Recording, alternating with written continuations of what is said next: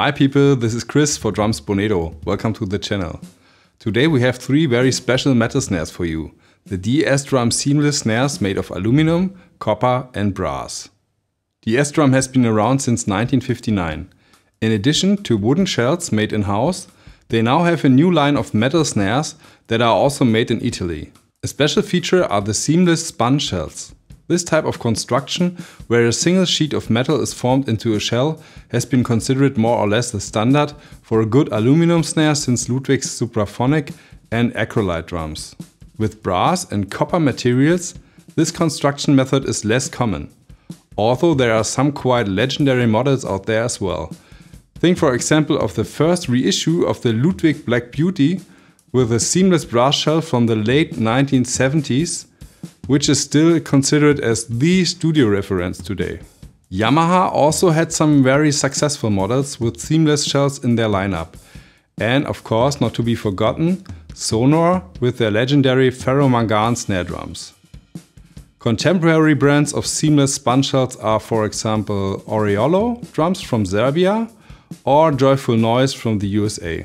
Even if a seamless snare shell is widely considered as a quality feature, this does not mean that they always necessarily sound better than welded shells. After all, there are many factors that make up a very good sounding drum. But before I get too philosophical here, let's take a look at the specs of the three DS drums. All drums are 14 by 6 inches in size and are equipped with 10 double tension lugs in the typical DS drum look. The shells have a center bead that curves outward and it's also noticeable that the flange on the bottom is longer. DS also states that the wall thicknesses increases towards the lower part. That means towards the resonant head. The aluminum snare shell measures an average of 2.2 mm, while the copper snare and brass snare have a wall thickness of 1.3 mm. The snare beds are quite narrow in relation to the 22 spiral snare wires and the beds are 2.2 mm deep. The drums are assembled with Remo USA heads ambassador coated and snare side, and the tensioning screws are equipped with washers with a conical sealing ring, which helps to keep the tuning. The 2.3mm hoops, as with the Venom kit, have an inwardly curved shape. In terms of weight, the three drums turn out quite differently, although identically equipped. The copper model weighs 5.3 kg, the brass model 5.57 kg, and the aluminum snare 3.97 kg. The prices are also very different. While the aluminum snare is relatively affordable at 589 euros, the brass model costs 849 and the copper model, which is sitting behind me in the shelf, costs 889 euros. At least for these two you have to dig deep into your pocket. What is immediately noticeable when playing, all snares have quite a lot of power and especially with the brass snare and even more so with the copper model, a very nice and quite long sounding shell tone can be heard. So if you are into resonant, lively metal snares, they could be the one for you. Most aluminum snares I have at under my sticks are a bit quieter by feel. That's what I like about the DS Alu snare, that it has a nice presence and bite to it. Otherwise, the copper model has the most tone, while the brass model has a nice blend of warmth and bite. I just love brass snares for those attributes.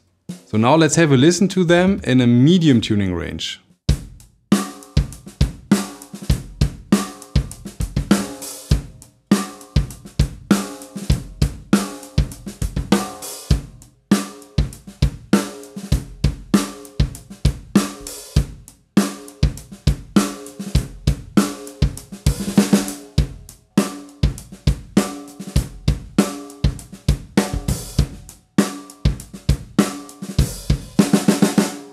What I also noticed, the snare wires have a very large proportion in the overall sound of the drums. This is certainly a matter of taste and is not so noticeable in the interaction with the kit and the three toms. Here you can listen to a few bars with a copper snare, to give you an idea what I mean.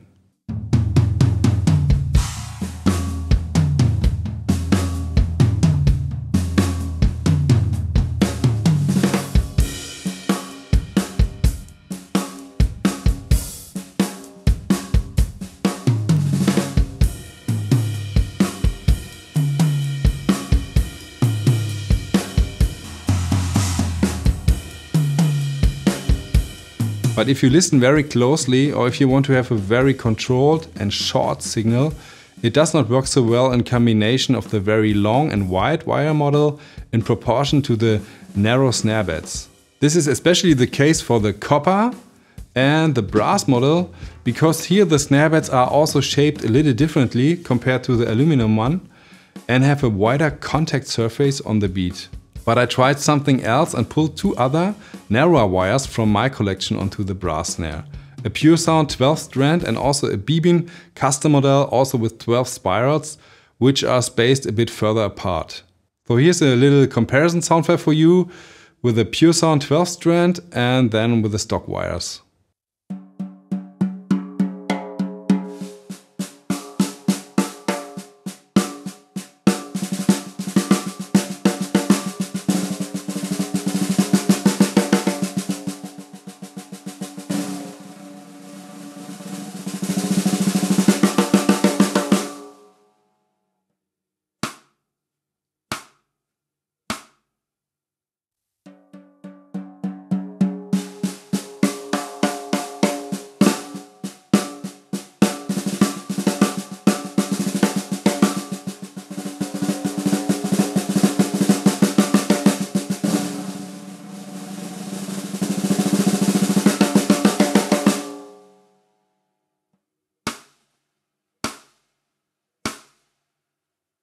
So for my taste, the snare sounds simply better with a 12 strand wire because of the crisper articulation and also there's no rattling noise afterwards. Also, the character of the shell tone comes out even more. And if I'm in need for an even stronger snarey sound, I can simply turn the microphone under the snare or in my case on the floor between snare and bass drum a little louder in the mix. So if you're a fan of very wide 40 spiral wires, which are common on Gretsch snares for example, these DS snares, at least with the current snare bed shape, are not the right thing. Here DS drum should rethink their concept. A snare bed that runs out wider would simply set up the drum much more flexible, as I said also with regard to wider snare wires, for example with 25 to 40 spirals, as many drummers out there like them. Otherwise, all three drums are great snares that serve the typical metal snare sounds of copper, aluminum and brass, but have a tad more bite and tone. And, and this is incredibly important for my taste, also feel very comfortable under the drumstick. Okay, now let's have a listen to the high and low tuning of all three drums. Also, for those two sound files, I equipped the brass model with the mentioned 12 strand wires from Bebin. So you can have a comparison how they sound with those.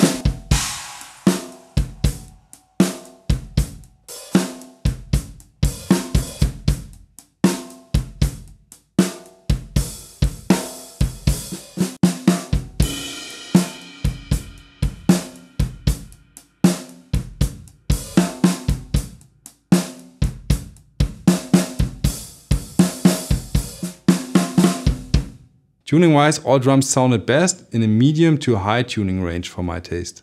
What is your opinion on the 3DS metal snares? Do you consider buying one of them? Feel free to write it in the comments. So that's it for today. If you like the video, please hit the thumbs up button, leave a comment and don't forget to subscribe to our channel. I see you next time. Bye!